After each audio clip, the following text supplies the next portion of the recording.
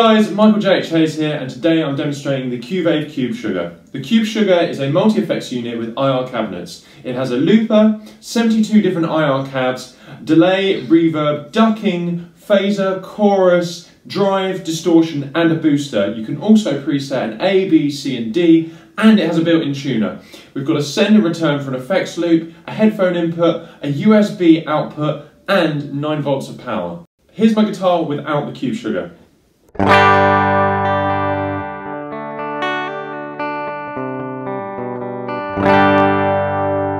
Okay, now for the IR cabinets to be turned on, is number one.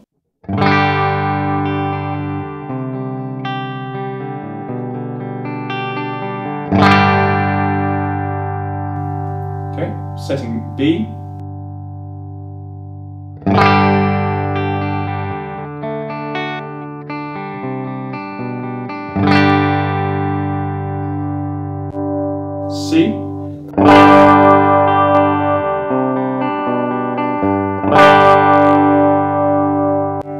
D.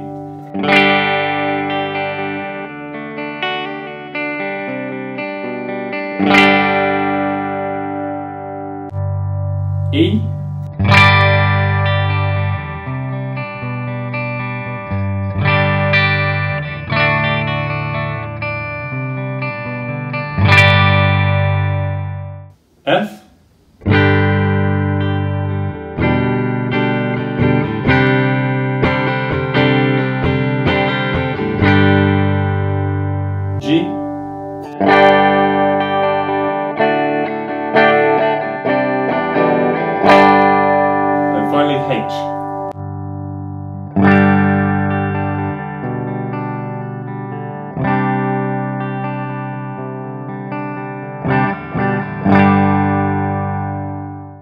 Okay, so within that, we have a one to nine different presets for each individual letter that you have me play there. I'm not going to go through them today, but there is a wide change in sound, so you've got a lot of variety coming from the Cube Sugar. We've also got a volume knob here, and that is great for if you're playing, maybe you're going straight into a PA, or you're plugging into maybe uh, just a, a plain amp or something like that with just a clean setting. And then underneath this, we have our space setting. Now the space setting is a reverb or delay or a ducking uh, setting. Now i have got to say before we go into this that all these switches, they're not those sort of click switches, they're, they're sort of a press, which is a personal preference. I absolutely love that. Now what we're going to do is we're going to engage this space setting. We're on uh, number one, which I believe is a reverb. Press this on. Setting number one.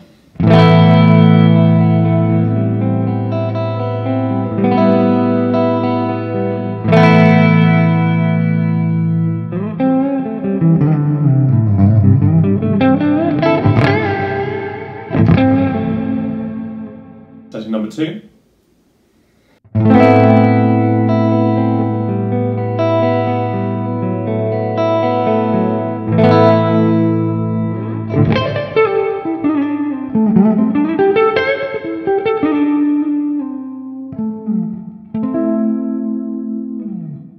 Setting number three.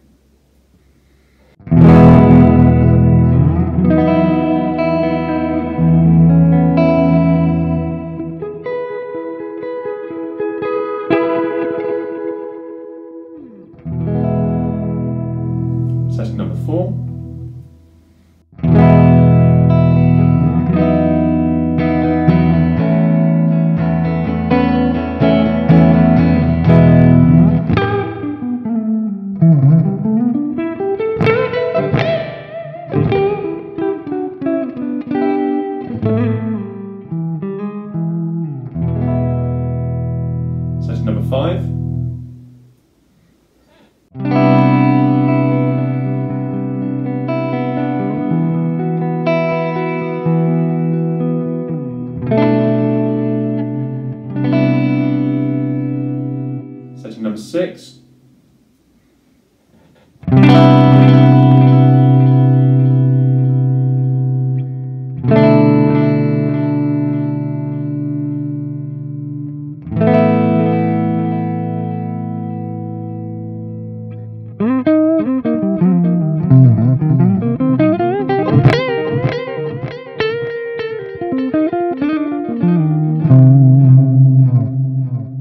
number seven.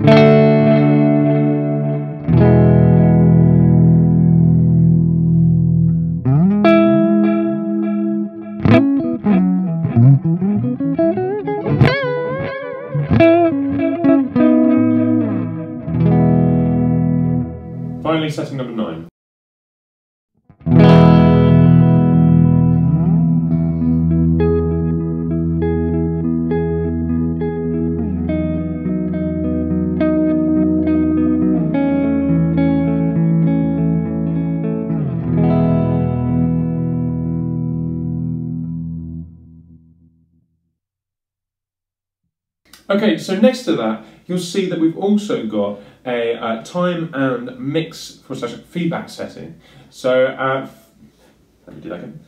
Okay, so next to that, we've got a time and mix setting. Now, these are really easy to adjust. They're just uh, turning knobs, um, which have this really nice uh, sort of plastic, sort of rubber outside, and that's really handy, especially if you're playing live or anything like that, because it stops them from getting knocked or them moving too easily. Now, next up what we have is we have our chorus and our phaser. So the way you engage this is that you press down one of these little white buttons and it turns on that setting. So you can have either both of them on at the same time or you can have one or the other. Now, let's have a listen to the chorus.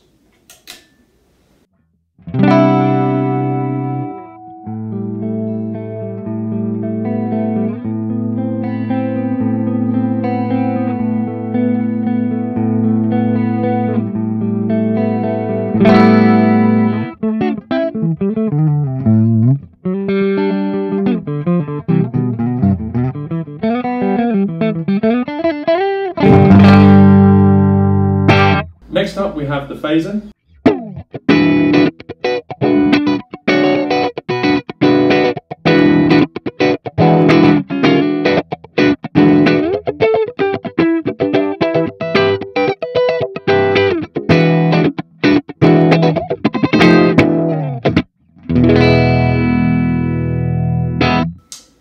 Let's have a listen to the chorus and the phaser on at the same time.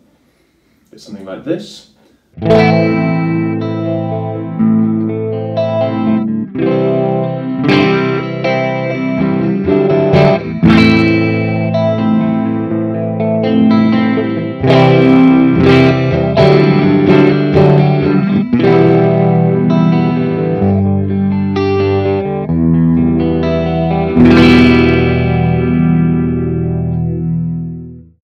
Okay, so what I'd like to point out uh, is that we've also got a depth, a rate, and a level for the chorus, and then you've also got a level and I believe it's a, it's a speed for the uh, phaser. So we'll turn both those off just for now. Um, now these knobs are really, really uh, adjustable, so you get lots of different sounds, lots of different uh, different textures as well from just such a uh, small and compact pedal. Uh, next up we have our distortion. Distortion we turn on like so press that on. Now for the distortion, what I'd like to highlight is that we have this candy or salt option, and we're currently on the candy option. Now I've got everything at 12 o'clock so you can hear nice and clearly what this pedal does. Here we go.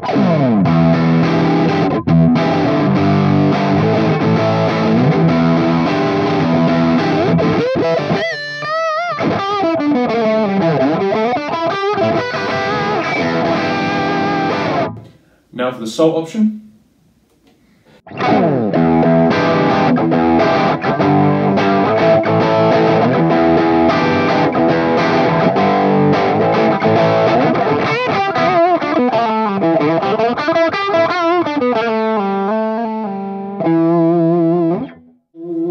classic sound to it when the uh, candy option has more of a modern sound I found. Okay, next up we have our drive. So the drive, we click on like so. Uh, now for the drive, we don't have these two options. We all we have is a tone, a gain and a volume.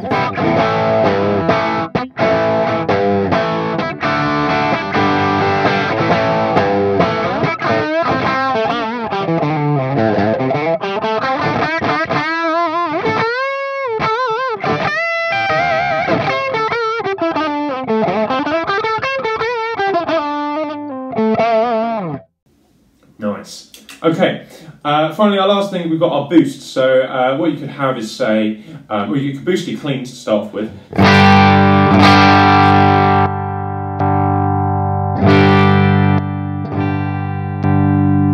You've got a treble and a bass adjustment along with your level and your gain. Um, but you know, you could say have your drive on and then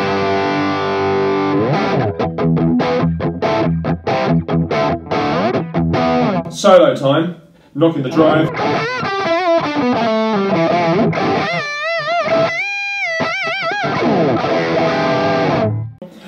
Okay, so the next thing I'd like to talk about is the looper on the Cube Sugar. Now, if you haven't seen my other video for the standalone uh, Cuvave uh, looper, and well, it's essentially the same as that. Okay, so if you've already seen that, great. But this one, all you have to do is the exact same thing. You just simply press this button once, and my song, is called E, and this red light will come on. You press it again, and it'll start your loop, and a blue light will come on. Now, as that line's running along, what it's doing is it's telling you at what point you're on your loop.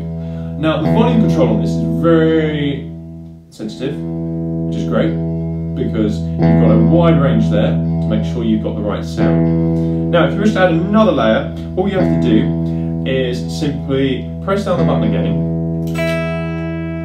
and what it will do is you'll add your other loop. The red light will come on, you can record again over the top.